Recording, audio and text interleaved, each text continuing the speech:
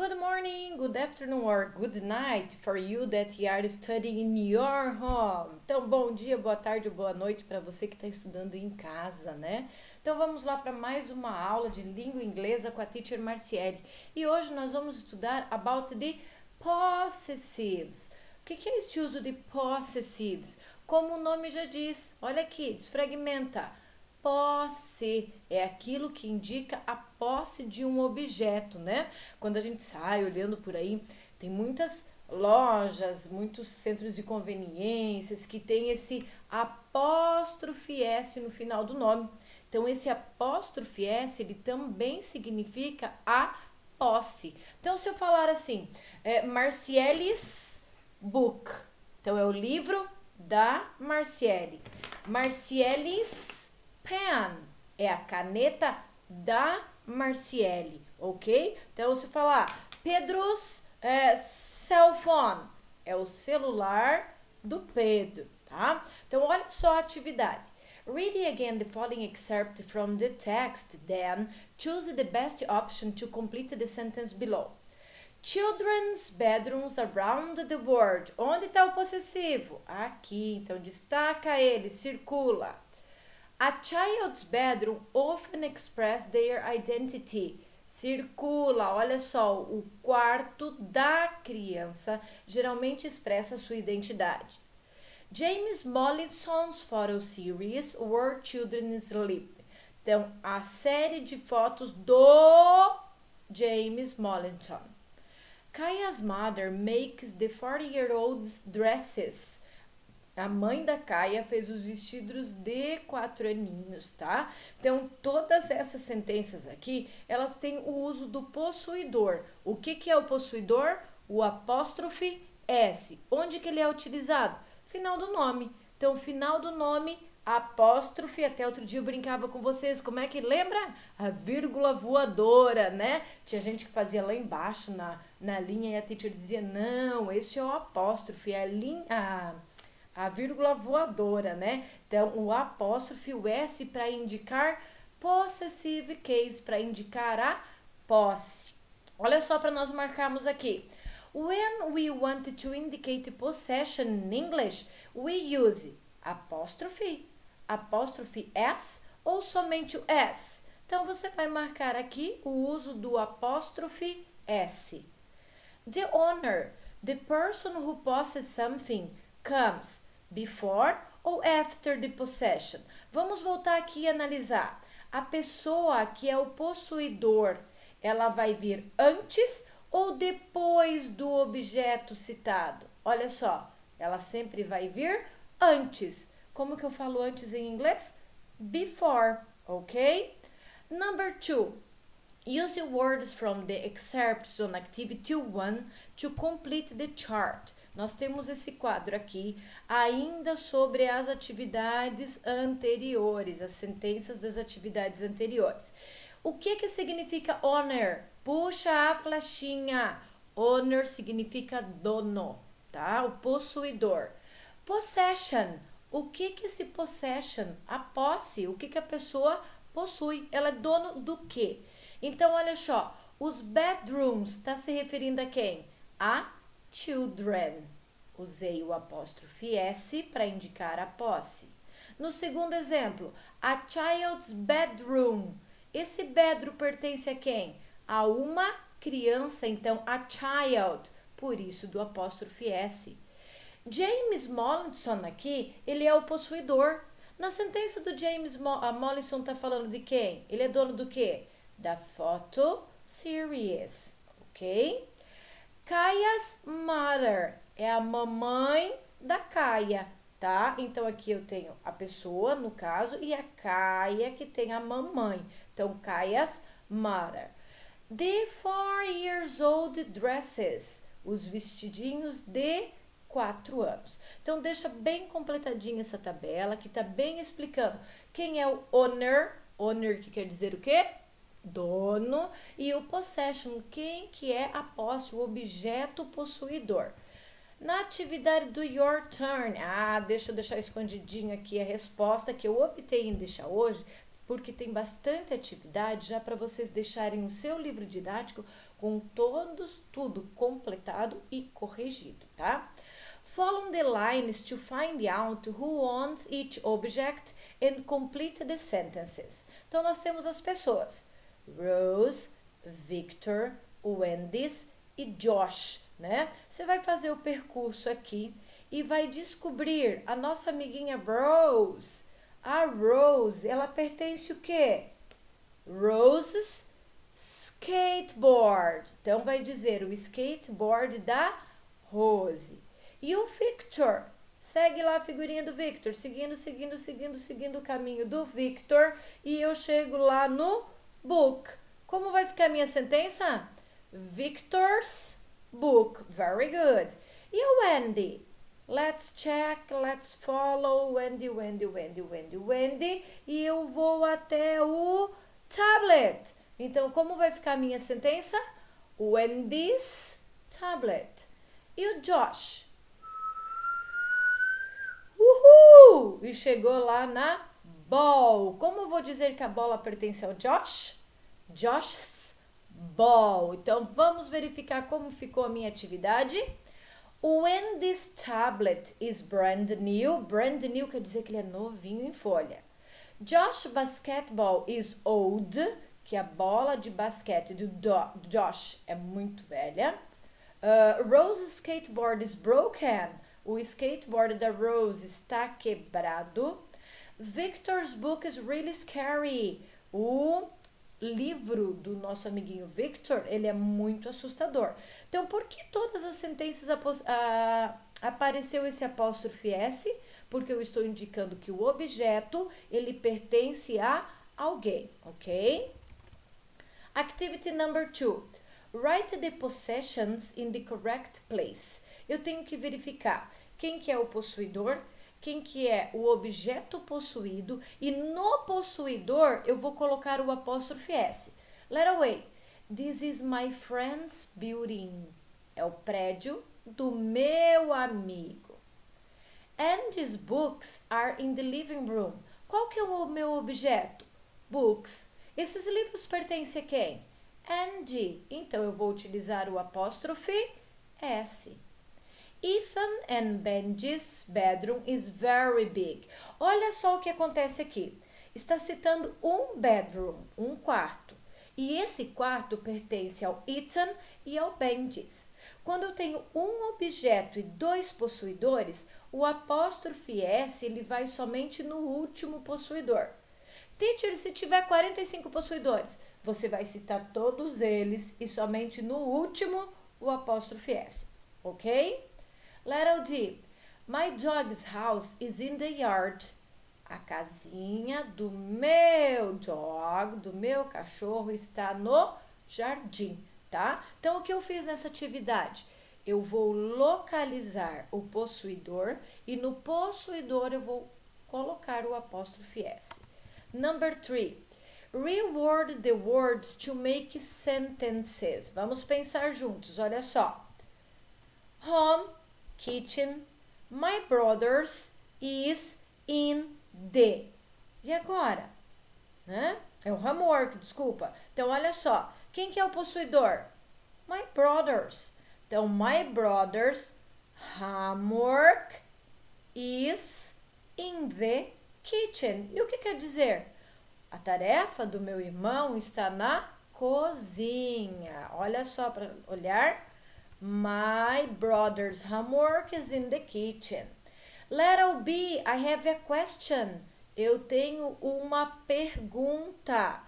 This Luan's is desk. E como vai ficar minha pergunta? Is this Luan's desk? Esta é a carteira do Luan. Olha aqui o apóstrofe S. Ele que é o possuidor da carteira. Por que, que meu verbo veio na frente? Porque eu estou fazendo uma sentença interrogativa. Car is not in the garage, my dad's. Eu vou dizer que o carro de quem? Do papai não está na garagem. Aqui eu vou ter uma sentença negativa. Quem é o possuidor? My dad. Então, my dad's car is not in the garage. Letter D. Cats and Kate's upstairs bedrooms are duas pessoas. Cats and Kate's. Teacher, mas você não me falou lá em cima que quando tem dois ou mais possuidores, o possuidor só vai na última? E aqui está aparecendo tanto no primeiro quanto no segundo? Há sim enciclopédias dentro da língua inglesa que trazem essa regra também, tá? Então o nosso material, ele apresenta as duas formas, tá certo? Mas sempre optam por colocar o apóstrofe S somente no último. Aqui traz os dois correto também, tá? Então, Kate's and Kathy's bedrooms are upstairs, ok? Let's go to the other page. E aqui nós já temos um pouquinho de uma gramática. Nós vamos falar sobre os possessive adjectives. Continuamos falando dos possessivos, o que indica posse. Mas agora o possessive adjective é aquele pronome que vai indicar a posse. Olha só. I am Marciele. This is my pen. You are my students. That's your book, ok? Agora lembrando o nome dos boys aí da sala. Uh, Carlinhos, Davi, o Rafa. Então, se eu apontar alguma coisa para o objeto deles, eu vou dizer o quê? His books, o livro deles. Se eu lembrar das girls, a Agatha, as Isabelas, né? A Isadora, eu vou dizer o quê? Her book, o livro dela. Agora, se pertencer a um animalzinho, o animalzinho nós utilizamos it, então vai ficar its.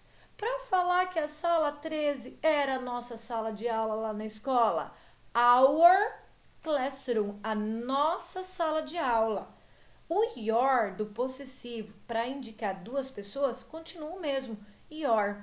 E o their é para ser deles. Então, se eu falasse o livro é do, do boy e da girl, então their books. Aí nós temos a tabela. Subject pronouns são os pronomes usados para quem? Lembra o S? Esse S significa o quê? Sujeito, tá? E o possessive adjective vai ser para aquele que vai indicar quem é o possuidor. Então, I am Marciele. My name is Marciele. You are my student.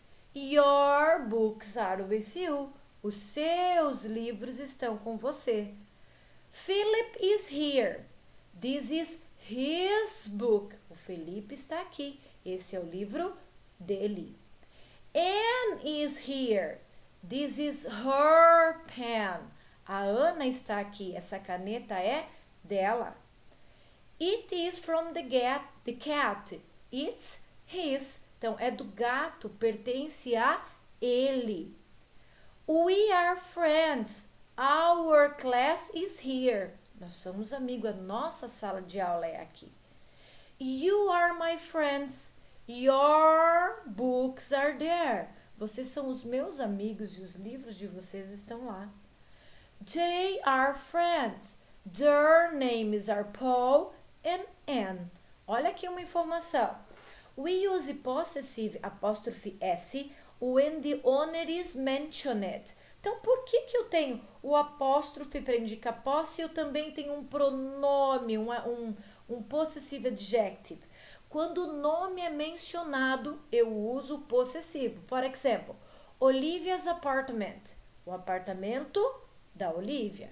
Is across from James and Leo's apartment. É em frente do apartamento do James e do Lewis. We use possession adjectives when the owner is not mentioned. It replaces the owner.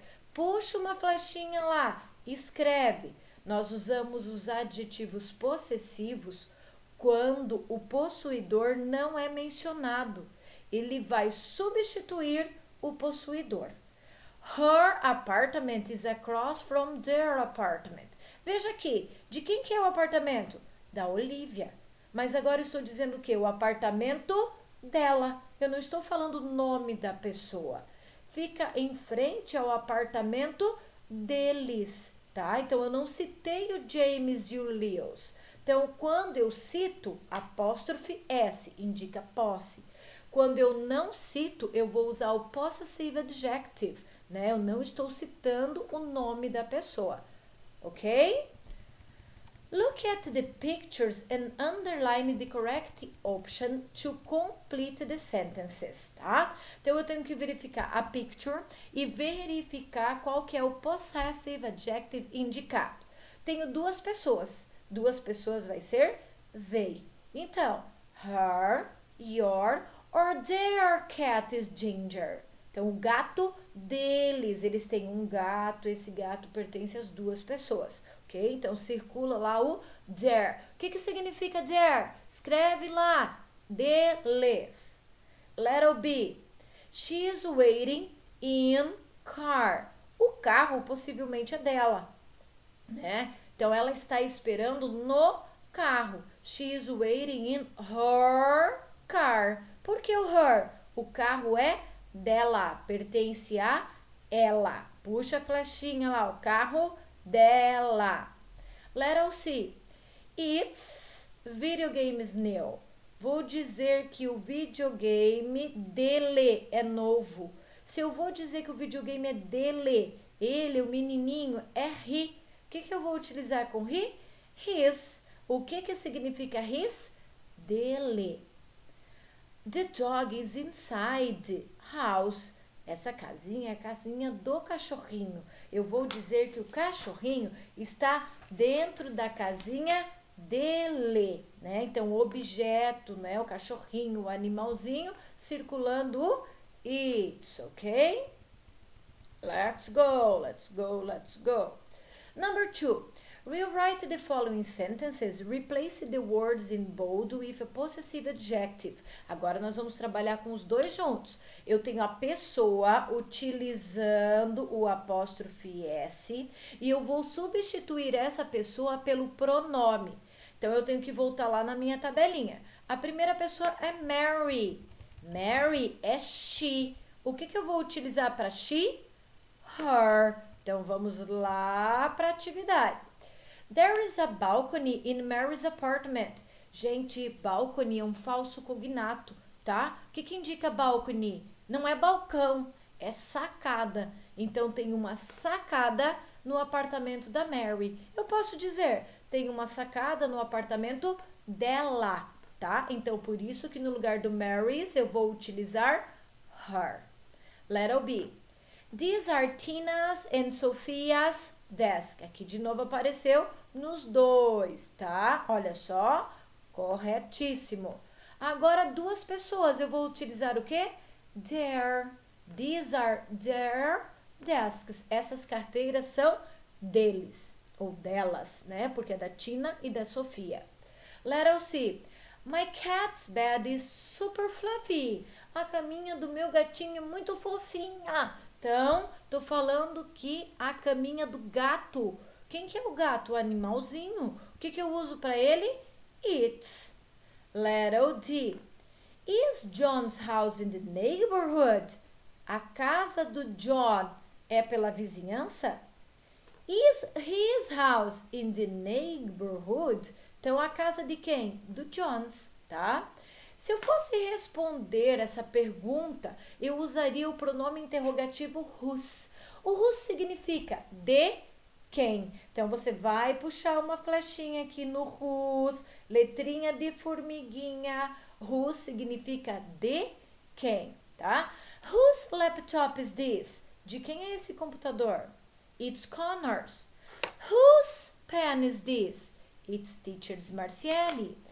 Whose book is this? It's my book. Então, sempre que eu vou perguntar de quem, o pronome interrogativo utilizado vai ser whose, ok? E lá na outra página nós temos um texto. Esse texto vai estar explicando todos os tipos de houses. Olha só quantos tipos de houses que nós temos. A teacher vai pedir que cada um deles você puxe a flechinha, escreva em cima o que significa o nome. Então, o importante agora é entender o nome e eu vou comentar né, a descrição de cada um deles. Então, castle, um castelo, uma grande construção construída no passado para proteger as pessoas dos ataques.